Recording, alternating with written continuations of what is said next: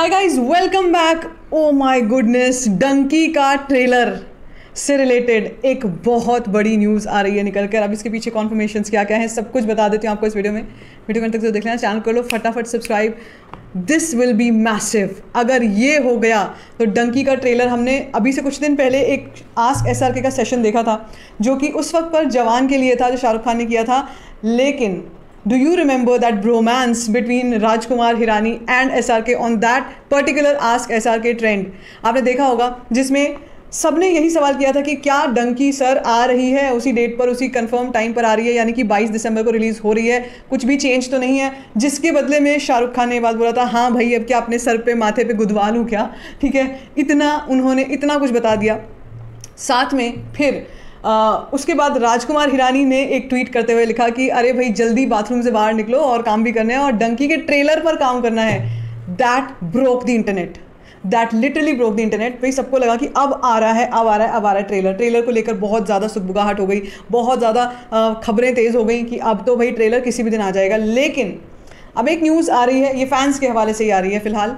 ये न्यूज़ जो है, ये सच लेकिन हो सकती है। याद रखिएगा फ़ैन थियरीज़ जो हैं, ये हवाबाजी नहीं होती है। फ़ैन थियरीज़ होती हैं, जिनके पीछे कुछ ना कुछ लॉजिक और सच्चाई होती है। तो अब हम सबको पता है एस आर के डे आ रहा है, Shahrukh Khan birthday is coming on second of November और यार what are the chances I mean what are the odds that इस दिन पर शाहरुख खान हमको एक बहुत बड़ा तोहफा देने जा रहे हैं in terms of Dunki trailer ना मैं अभी फिर से कह रही हूँ फिर से रिपीट कर रही हूँ उसके पीछे अभी कोई भी बेस नहीं है इस, इस खबर के पीछे कोई भी बेस नहीं है। ये फ़ैन थियरीज़ के हवाले से खबर आ रही है मगर मुझे लगा कि मुझे इसके बारे में बात ज़रूर करनी चाहिए क्योंकि ऐसा पॉसिबल है और अगर ऐसा हो जाता है तो it will be total crazy सोचो शाहरुख खान का बर्थडे इस बार सब लोग बहुत इंतज़ार कर रहे हैं फैंस क्योंकि ऑफ़ कोर्स दो इतनी बड़ी बड़ी ऑल टाइम ब्लॉकबस्टर और तीसरी सामने खड़ी है।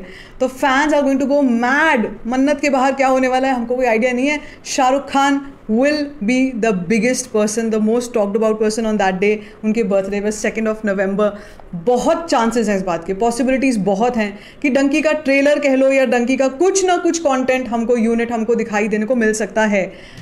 दिस इज़ मैडनेस डंकी का वैसे भी यार हो भी सकता है ऐसा, क्योंकि देखो राजकुमार हिरानी भी लूजली कुछ नहीं बोलेंगे और डंकी का ट्रेलर को लेकर उन्होंने बात बोली है और अब वैसे भी हम देख सकते हैं ओवरसीज़ मार्केट में क्या सरगर्मी चल रही है, कितनी ज़बरदस्त तरीके से अब एग्जिबिटर्स में एक्साइटमेंट है डंकी को लेकर।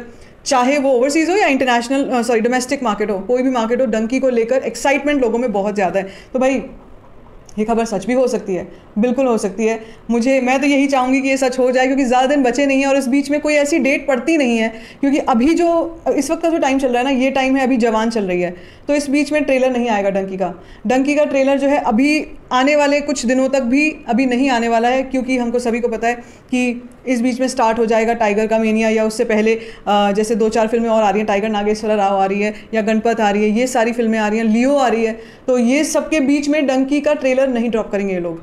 ये लोग most probably Shahrukh Khan birthday which is solely a day for him और after the release of Tiger या फिर वो डे या फिर वो टाइम लग रहा है। मुझे उस उस टाइम पे तो आना ही आना है, क्योंकि अभी वो दस नवंबर को रिलीज़ हो रही है तो भाई दिन ही कितने बज जाएँगे फिर और दो दो ट्रेलर्स आते हैं आज के टाइम में, तीन, चार सॉन्ग्स आते हैं पोस्टर्स आते हैं। तो most probable date that I feel should be second of November और आफ्टर टेंथ ऑफ़ नवंबर ये दोनों पॉसिबिलिटीज़ लग रही हैं बट मज़ा आ जाएगा यार ट्रेलर अब देखो बिना ट्रेलर बिना टीज़र के मतलब टीज़र वैसे वाला नहीं आया ना जिसमें ज़्यादा विजुअल्स हो।